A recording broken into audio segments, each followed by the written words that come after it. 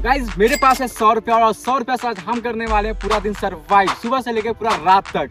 तो देखते हैं आज क्या होता है मेरे साथ। तो चलिए भाई सौ रुपया में आज हम पूरा का पूरा सरवाइव तो करने ही वाले हैं प्लस आज क्या करने वाले वो भी आपको पता चल ही जाएगा। तो गाइज़ इस सौ रुपया में अभी हम पहले जाने वाले नाश्ता करने। तो देखते हैं पहले सबसे सस्ता क्या नाश्ता हम लोग को मिलता है। तो चलिए पे चलते हैं और देखते हैं क्या होता है, क्या मिलता है हम लोग सौ रुपये में। तो हम आ चुके हैं सुबह का नाश्ता करने, इडली खाने। तो यहाँ से हम पता करने वाले हैं क्या प्राइस होने वाला है इडली का। तो चलिए देखते हैं। क्या रहे हैं इडली स्टोर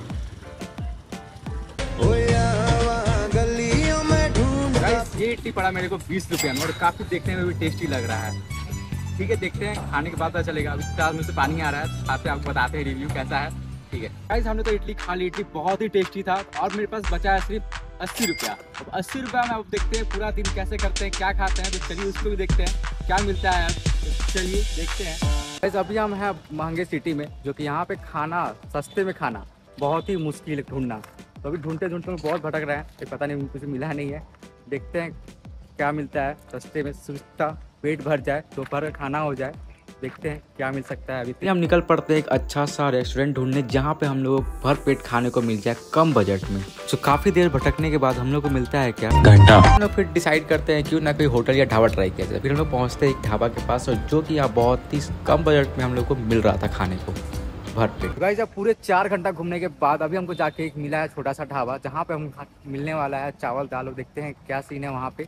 आ, कैसा होता है खाना कैसे टेस्टी होता है या नहीं कम पैसे में।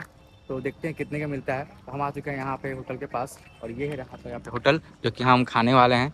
तो कम प्राइस में देखते हैं क्या प्राइस होने वाला है कितना सस्ता होने वाला है और कैसा, कितना टेस्टी होने वाला है। तो हर चीज़ बताएँगे आपको। यहाँ मिलता है हम लोग को चावल, दाल और सब्ज़ी और सलाद। ताकि बहुत ही भरपेट मिल जाएगा आपको कम बजट में। तो पहले खा के बताते हैं कितना बड़ा हम लोग को कितना टेस्टी है। अब तक हम यहाँ पे खाना खा लिए हैं भर पेट बहुत ही अच्छा था खाना।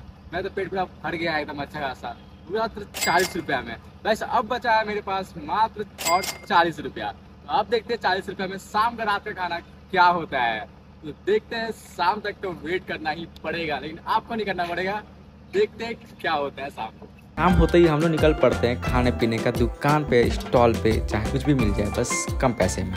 हैं शाम का टाइम हो गया और हम आ चुके हैं यहाँ पे स्टॉल के पास जहाँ पे आप देख सकते हैं काफ़ी ज़्यादा यहाँ पे स्टॉल है खाने का लेकिन समझ में नहीं आ रहा शुरू कहाँ से खत्म कहाँ से मेरे पास सिर्फ़ बचा है चालीस रुपया। और चालीस रुपया में यहाँ पे खाने के लिए बहुत थोड़ा सा देखना पड़ेगा थोड़ा सा देख आ, क्या बोलते क्या बोलते सुबह? बोलते हैं याद दिया क्या क्या कहना कहना क्या चाह रहे हैं भाई आप?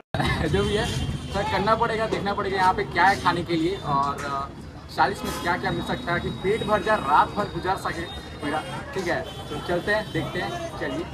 तो अभी हम यहाँ पे हैं, देख रहे हैं एक स्टोर है। और यहाँ पे बहुत सारे स्टोर है यहाँ पे हम सबसे ज़्यादा, यही अच्छा लग रहा है बजट में और पेट भर रात भर तक गुजारा हो सकता है इससे मेरा।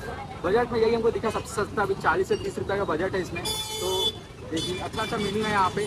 और यही खाना है आज का डिश है, मेरा आज का, रात का खाना, पूरा का पूरा दिन का।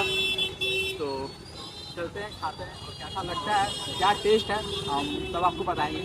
चलिए, खाते हैं। गाइस हम ले चुके हैं एग रोल जब पड़ा मेरे को तीस रुपया, अब बचा है मेरे पास दस रुपया। अब ये दस रुपया हम आपको बताएँगे, खाली खा लेते उसके बाद आपको बता दस रुपये का हम अब क्या करने वाले हैं। पहले हम खा ले, बहुत ही टेस्टी लग रहा है इससे पानी आ रहा है गाइस खा लेते हैं. तो गाइस अभी हम आगे रोल खा चुके हैं और बहुत ही टेस्टी था। बस पड़ा हमको तीस रुपया। अब बचा है मेरे पास दस रुपया। इस दस रुपया का हम क्या करने वाले हैं? हम बता रहे हैं आपको, इस दस रुपया का हम नेक्स्ट वीडियो में दस रुपये का चैलेंज करने वाले हैं। नेक्स्ट वीडियो में, यानी कि इस वीडियो में आप अच्छा लाइक और सब्सक्राइब करते हैं वीडियो को तो नेक्स्ट वीडियो में दस रुपये का हम पूरा दिन सर्वाइव करने वाले हैं। गाइस वीडियो ज़्यादा लाइक करो शेयर करें और सब्सक्राइब करना ना भूलें।